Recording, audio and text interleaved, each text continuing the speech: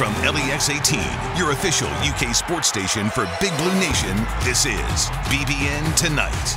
Presented by Central Bank, the official bank of UK Athletics.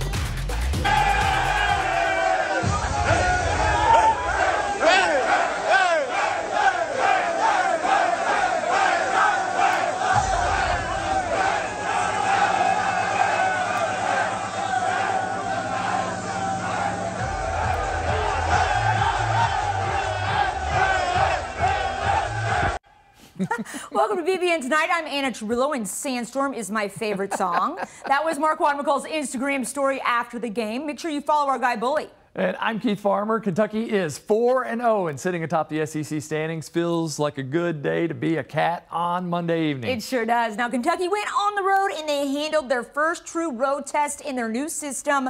The defense stepped up and Kentucky leaned on the run game to beat South Carolina in Columbia on Saturday. That's tonight's big blue story as Kentucky started the game off with a 12 play, 75 yard drive that ended with Kavosiey Smoke scoring from 15 yards out. But after that, the offense stuttered, punting on the next three drives, and then a Will Levis interception on an underthrown deep shot to Wan'Dale Robinson.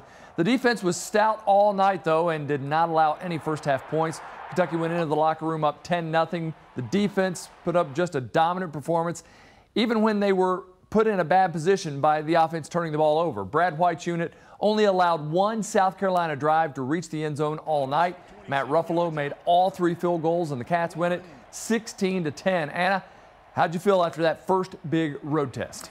I felt relieved. I felt glad to see the defense back to their old tricks, and I felt a little bewildered over the turnover margin, mm -hmm. which we'll get to right here. Yeah. Turnovers still an issue for the Cats, now sitting at a staggering negative nine in the turnover margin for the season.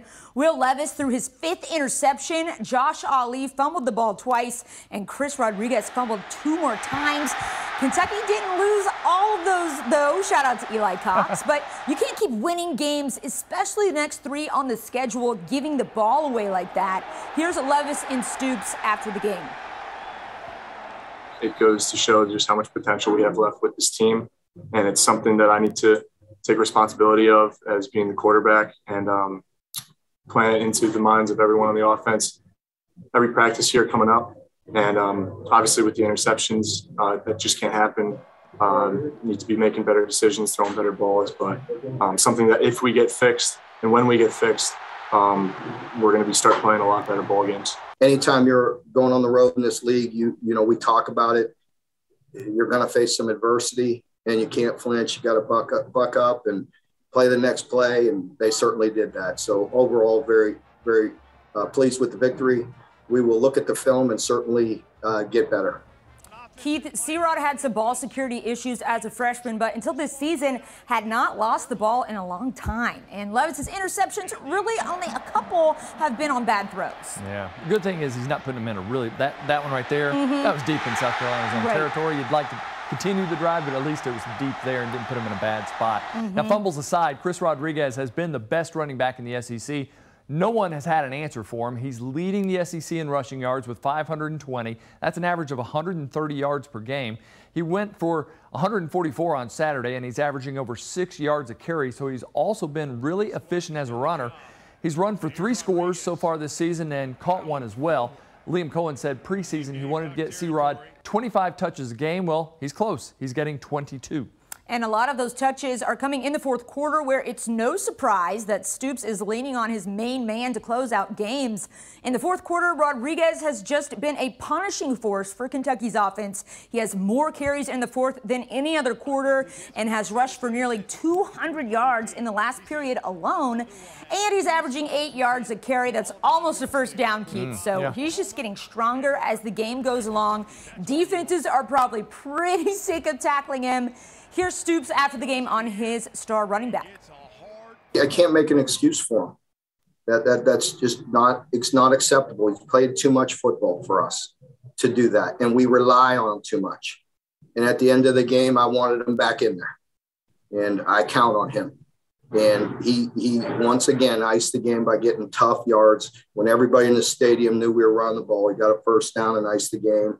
And, uh, you know, we will, the only thing I can say is we can't make an excuse. We've got to look at everything. and go back to work and and get it corrected.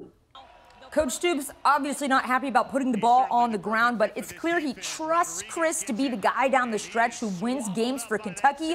And Keith, he's earned it. Yeah, no doubt about that. All right, Cats are coming back home for one of the biggest games that we can remember. The Florida Gators coming to town Saturday night. Florida 3 and 1 with one loss coming to Alabama, so that's in the league. If you're looking for tickets to the game, good luck. this morning it was already nearing a sellout at Kroger Field. The game is at 6 o'clock. It'll be on ESPN. And here's what Coach Stoops said today about the game. Preparing for a really talented Florida team. Uh, Dan Mullen calling the plays offensively, always is a great play caller. Uh, very talented players as usual. Very physical run game, rushing for over 300 yards a game is, is extremely impressive. And then uh, defensively with Todd Grantham does a wonderful job. Very a uh, lot of respect for Todd and his defensive philosophies and the way they play. Uh, very very long athletic defensive group. So uh, all in all, very good team, and it'll be a great challenge. And really looking forward to having a great home atmosphere here this weekend.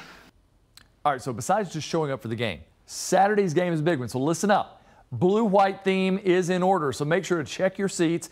Make sure you wear the right color at Kroger Field on Saturday. Anna Cats are facing a few levels up in competition this Saturday. They sure are. It's not Chattanooga. I think this is the 1st mm -hmm. ranked team Kentucky's taken on this year, and they're in the top 10. Mm -hmm. So the atmosphere should be amazing. It's the first time since 2007 that Kentucky and Florida will be a ranked matchup, with the Cats showing up in the polls for the first time this season. The USA Today coaches poll has Kentucky 23rd and the Gators ranked 9th. Now, Kentucky hasn't cracked the AP top 25 yet, but they're still in the others receiving votes column.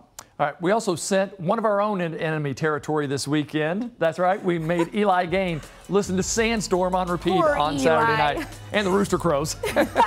His report from the field at Williams-Brice Stadium is next, only on BBN Tonight.